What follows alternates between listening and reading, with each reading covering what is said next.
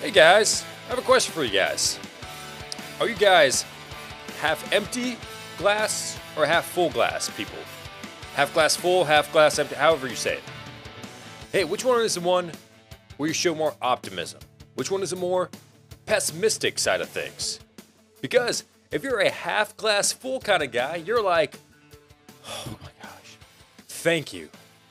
Thank you, thank you, thank you. It's not Washington Armada. And if you're a half glass empty kind of person, which is almost everybody on the internet, then you're like, this team name sucks. It was announced that the Washington football team would become the Washington Commanders earlier this morning. After a lengthy process of two years, after multiple leaks, after leaks, after leaks, we have now landed on the Washington football team. Let me go ahead and uh, show you guys a few things here. Uh, let's look at the new uniforms first off. Okay, you know it's it's fresh. It's fresh. I, it's clean. It's clean. I, I, I like the the simplicity of it. Um, I like the stitching. I don't know how much I can zoom in here, but uh, let me see if I can. Uh, we got Terry McLaurin right here, and then uh, yeah, you you can just feel the uh, the numbers right here, the material that it's made out of, and uh, okay, like all right, hey hey, before I get more into it, I just want to go ahead and say thank goodness it's not the Washington Armada.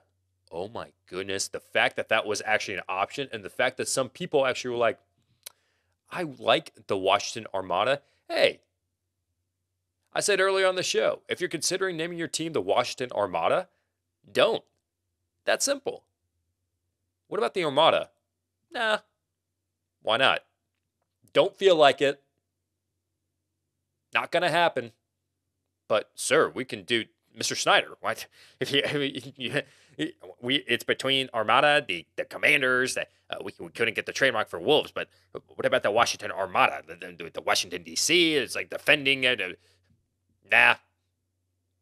Don't feel like it. That simple.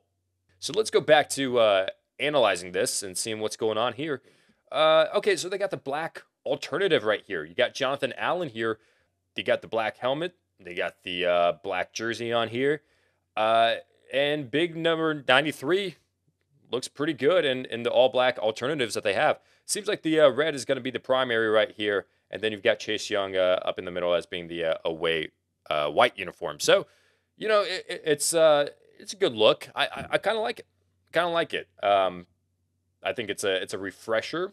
You know, I, I think it's going to be one of those things where – just like the Washington football team, it took a couple years for people to get onto the on board with the team name and saying like Washington football team out of all the team names, this is the stupidest team name that you could ever name your team.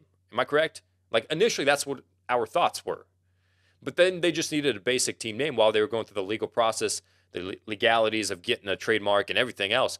And then finally, eh, people were like, "Oh, Washington football team, that could be a name that could stick."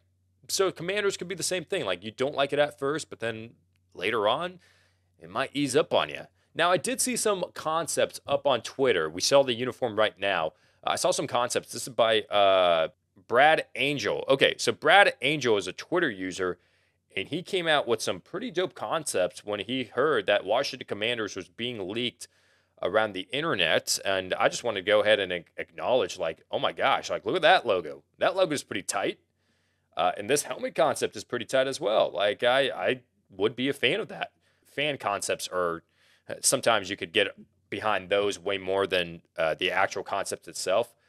But uh, he made this after the team name Washington Commanders was leaked around the internet. It became no secret. Like people were would be revealing photos, like UPS employees, FedEx employees would be revealing photos of shipments of shirts that say Washington Commanders, like official logos that, that they just so happened to stumble upon and they just released those photos, leaked them, and Washington commanders. We live in the di- digital age, guys, where everything could be leaked. Like, no longer are there days of wrestling being fake. When the Iron Sheik was riding in the car, pulled over by a cop with, uh, I don't know who it was, Jake the Snake, I don't even know. And you're like, hey, aren't you a good guy and you're a bad guy? What are you guys doing riding the car together? Oh, man, wrestling's fake. We've come a long way since then a long way. Because back then you couldn't believe it. And now information gets leaked just like that. And Washington Commanders is one of those concepts. I'm going to actually show you uh, a funny interview that I saw with um, Joe Theismann. And this is uh, per Damon Amendolara.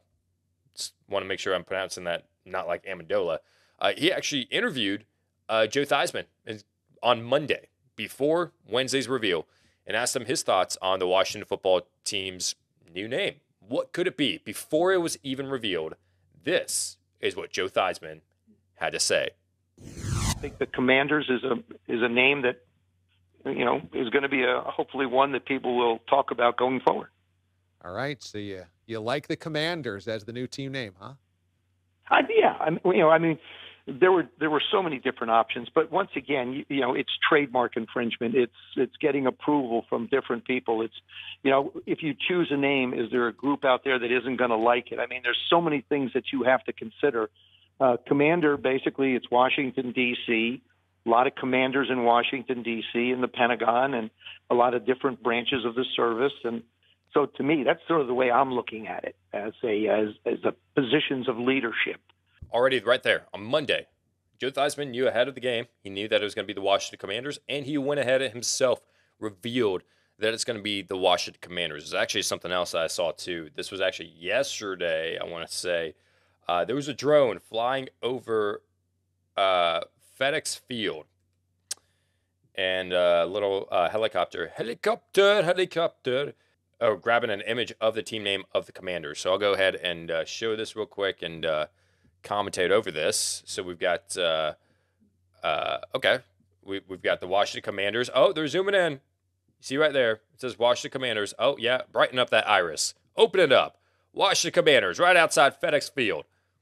Yeah, this is per uh, WUSA 9, Channel 9. But, anyways, I mean, that's the Washington football team's new name, the Washington Commanders. We're going to have to get used to it. Whether you like it, you don't like it, there's no going back. No going back. This is going to be the team name for a long, long time. Longer than two years, longer than five years, longer than 10 years.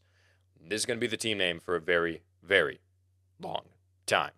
Commanders, you like it? You don't like it? Leave your comments down below. My personal preference Warriors or Wolves would have been awesome.